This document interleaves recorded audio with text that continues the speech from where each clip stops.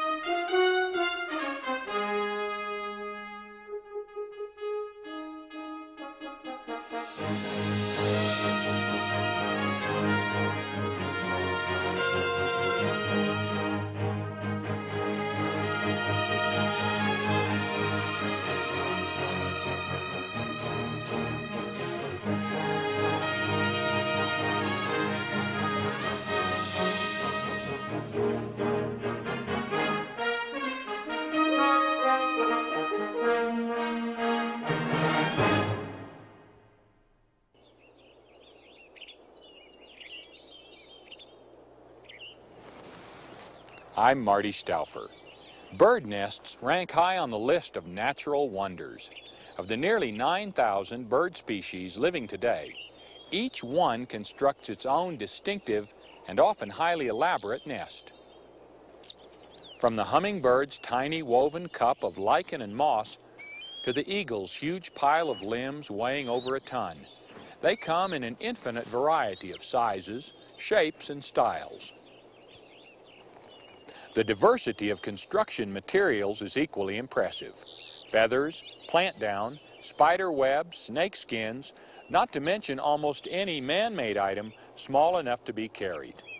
By their evolutionary success, birds have demonstrated that when it comes to protecting their young, a nest is best.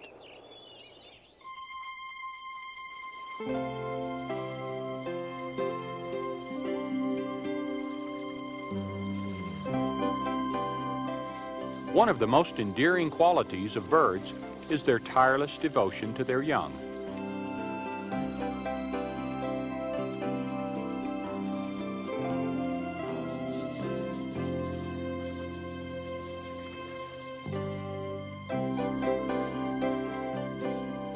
The time and attention avian parents spend on their offspring is almost unbelievable. Some of the smaller insect-eating songbirds make up to a thousand trips a day to feed their nestlings. To meet the needs of its young, each species has its own specialized nesting strategy.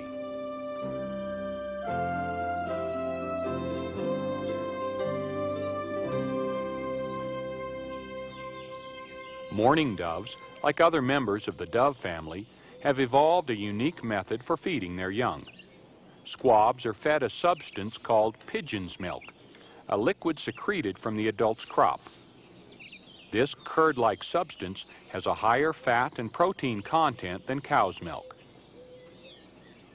After hatching, the young are fed this nutritious liquid exclusively for several days. Then, as the squabs grow, they rely more on a diet of regurgitated seeds.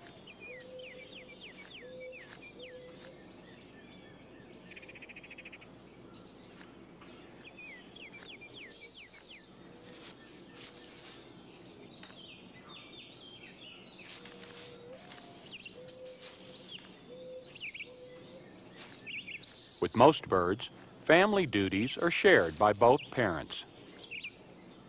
Parental cooperation is a good way to improve the offspring's chances, especially during the first few critical weeks of life.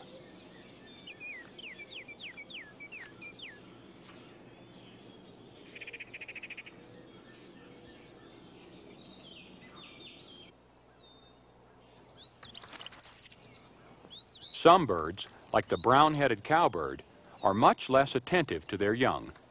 They have one of the most unusual nesting habits of all North American birds.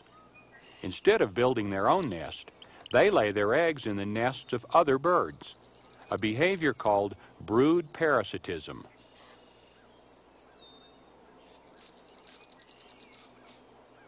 While some hosts reject the foreign egg, others raise the cowbird nestling often at the expense of their own young. Cardinals and other songbirds are frequently parasitized.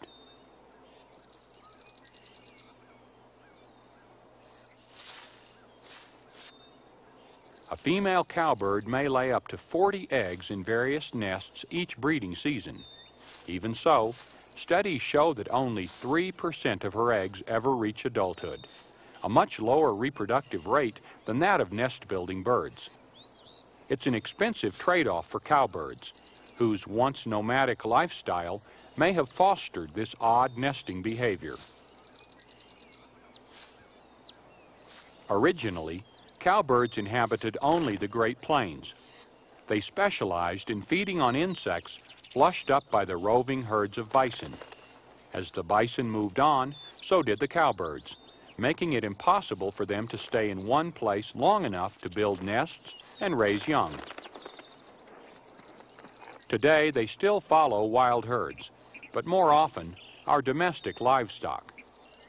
Though their food source is not as transient, their parasitic instincts remain.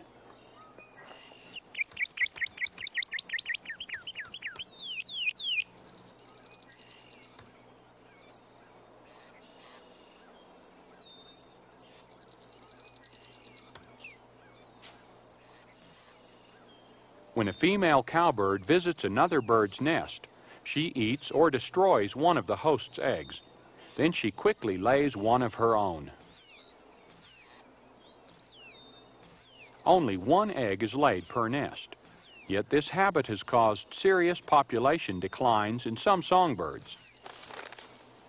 Since the cowbird's larger, more aggressive nestlings often dominate the food supply.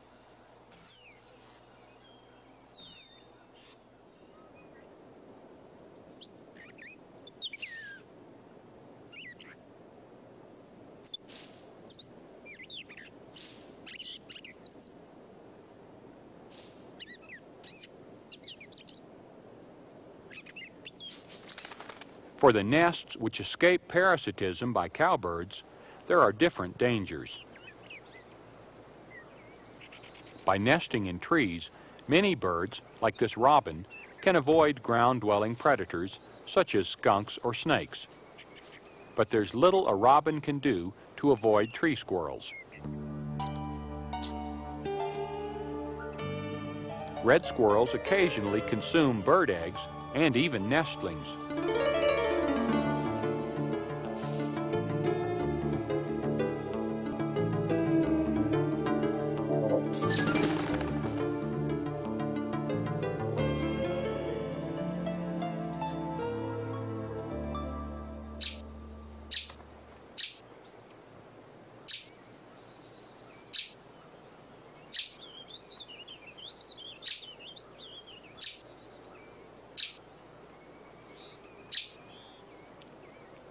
Despite squirrels and a few other tree-climbing mammals, nesting high off the ground has its benefits. In fact, fossil evidence suggests that the remarkable diversity of bird nests evolved in response to the evolution of mammalian predators.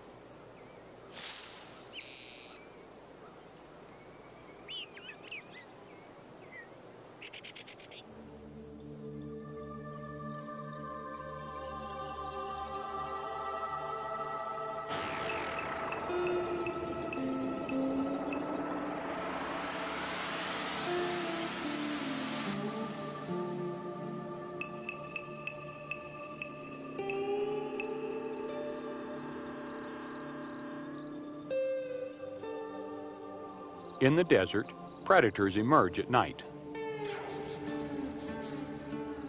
A Gila monster prowls in search of an easy meal.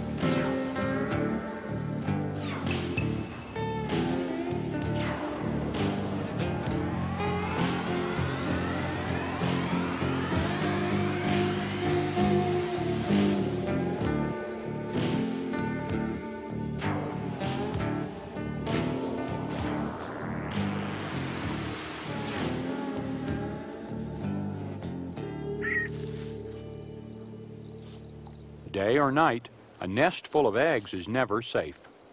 The scaled quail can only watch as its precious egg is devoured.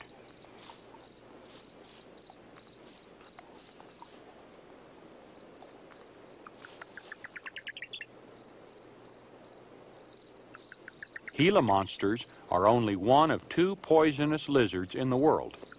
Drop for drop, their venom is more potent than a rattlesnake's.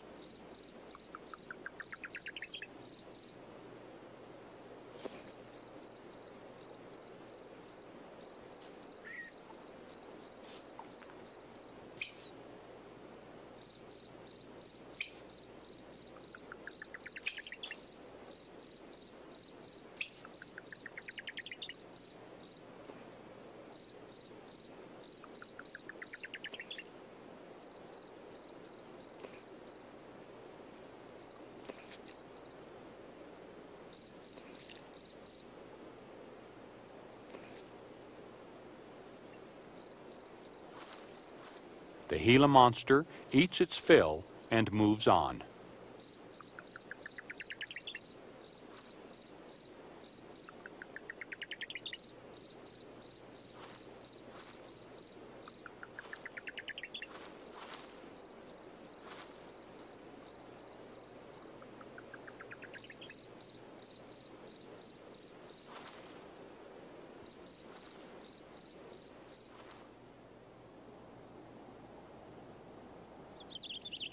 Another ground nesting bird, the willow ptarmigan, faces a similar problem.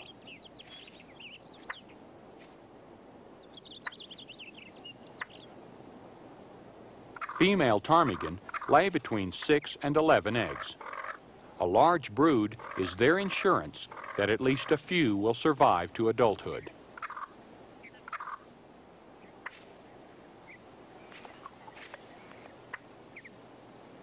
The eggs need to be kept warm in order to develop, and they must be turned regularly. Turning the eggs helps to distribute the warmth evenly and to prevent the embryonic membranes from fusing with the shell. It's no wonder ptarmigan protect their nest with a vengeance.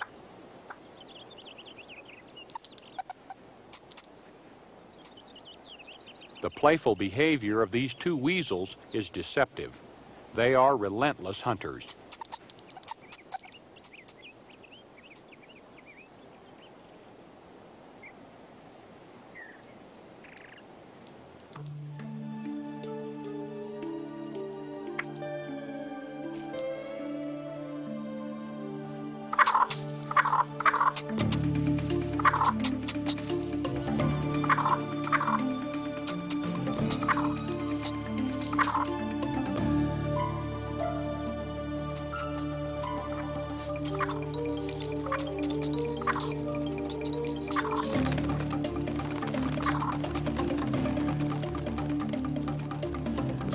As the ptarmigan flies off with one of her attackers in tow, the second weasel moves in.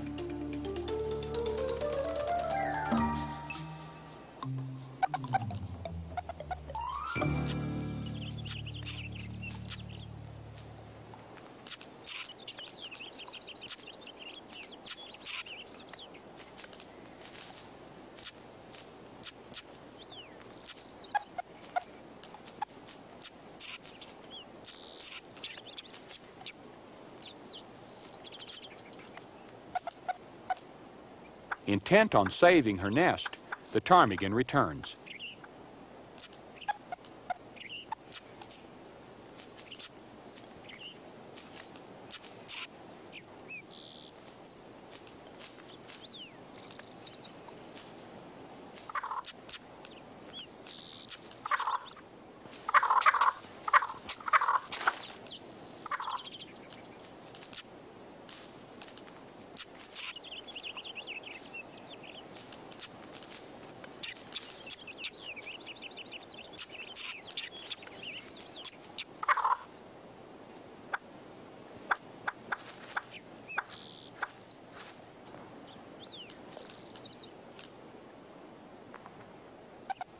The weasel's persistence finally pays off.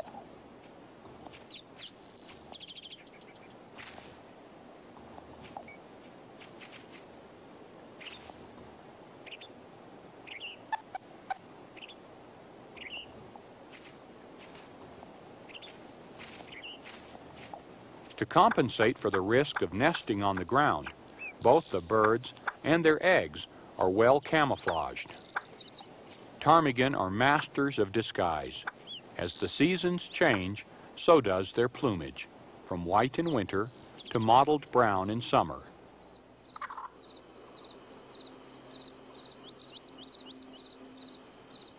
Also blending perfectly with its surroundings is a pauraque, a close relative of whippoorwills and nighthawks. These birds inhabit the woodlands and coastal plains of South Texas.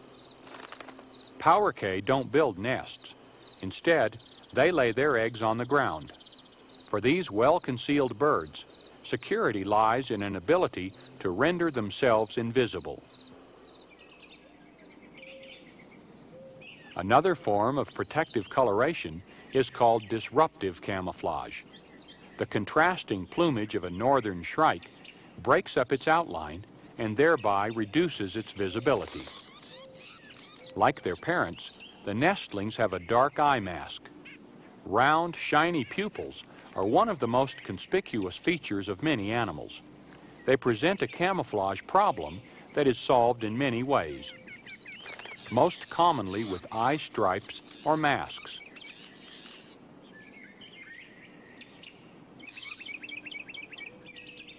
Such a color scheme tends to hide the eye within a dark, irregular shape, a technique used by many forms of life, from fish to mammals.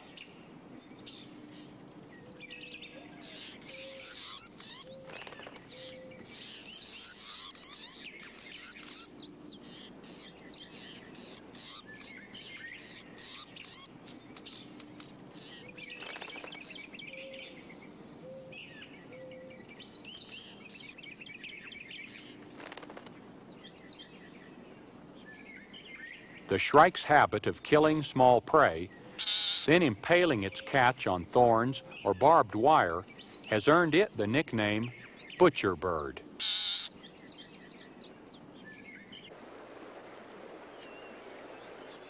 In our western states, wherever there are clear mountain streams, you're likely to see another unusual bird, the water ouzel or dipper.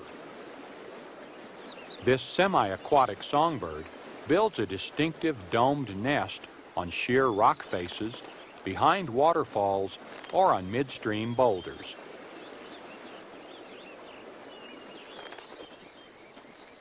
Dippers forage in streams, gleaning insects and larvae from submergent vegetation and rocks. They often disappear underwater, swimming through the current using their wings as flippers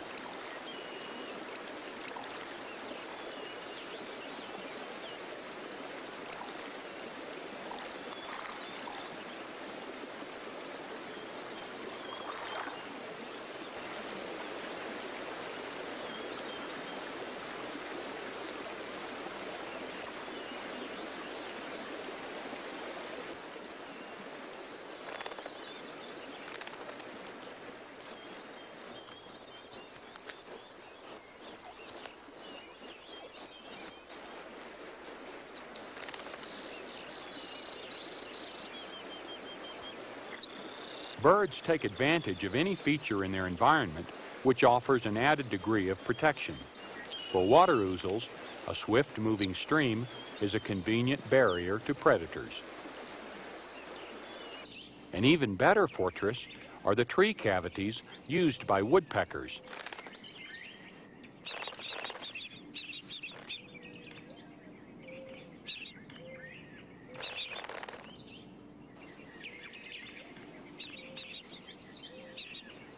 It's believed that birds first used natural tree cavities for their nests.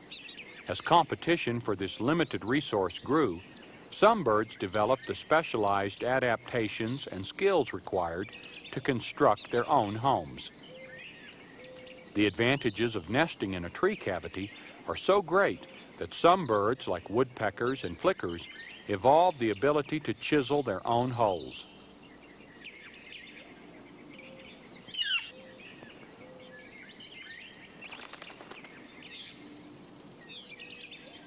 Since the wood of dead or dying trees is soft, old snags are a valuable commodity for cavity nesters.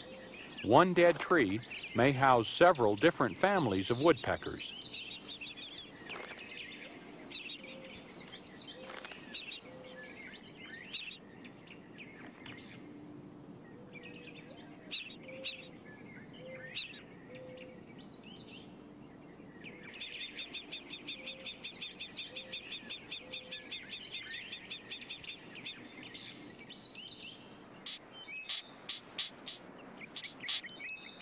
Pileated woodpeckers, with their flaming red crests, also nest in tree cavities.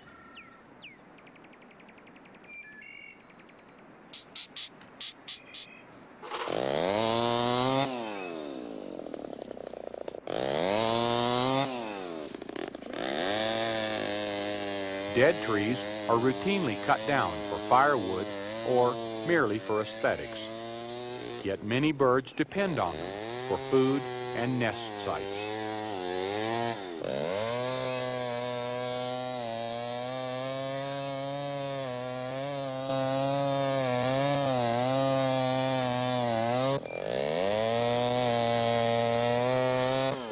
Recently, environmentalists have recognized the importance of old snags. In an effort to conserve trees, which are especially important to wildlife, biologists put up do not cut signs. In 1986, the Animal In campaign began in Oregon to discourage the cutting of dead trees for firewood. The program has been very successful and is now a national campaign with the slogan, There's Life in Dead Trees.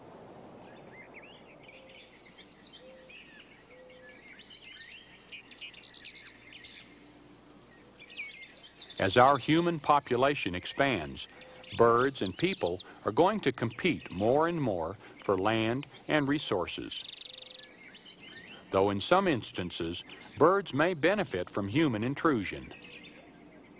A black vulture has found this abandoned shed an ideal nest site.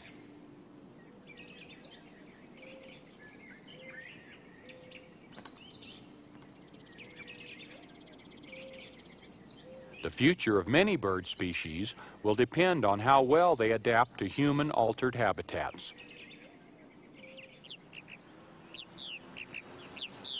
Purple martins adapt very well. One reason for their successful coexistence with people is their acceptance of artificial nest boxes.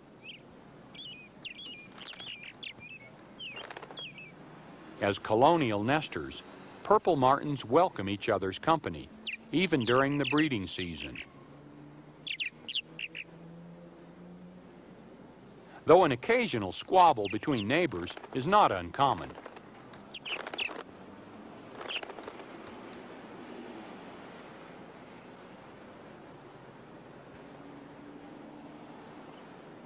Martin houses have been very effective in providing homes for these large swallows, which have lost much of their native forest habitat to human settlement.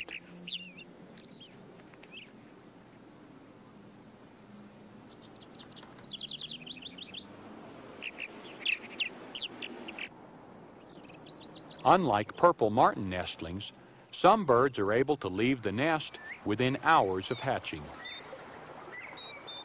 This bobwhite quail's brood is only two days old, and already her chicks are well traveled.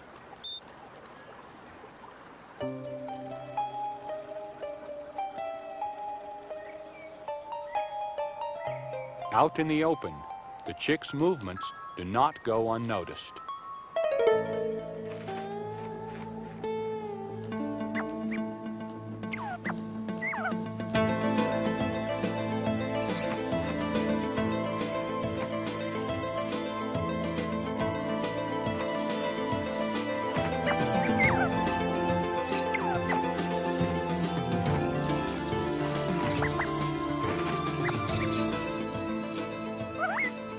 Even the kestrel's sharp talons are no match for the mother quail's determination to safeguard her young.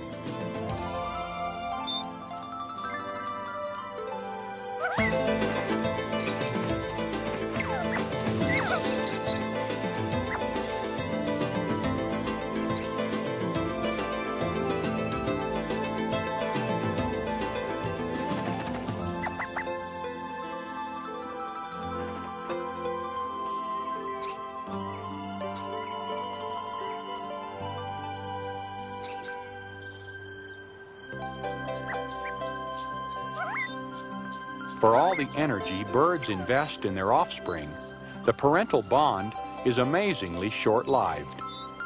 In the avian world, youth passes quickly. Once grown, birds have only their instincts to guide and protect them. Every bird is guided by a set of genetic blueprints dictating how, when, and where to build its nest. Yet I'm always amazed by their ability to exploit new nesting opportunities, especially in urban environments.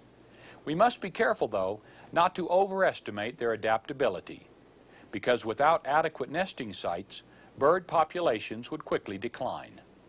Luckily, most birds instinctively know that to keep their offspring warm, safe, and dry, a nest is best. I'm Marty Stouffer. Until next time, Enjoy our wild America.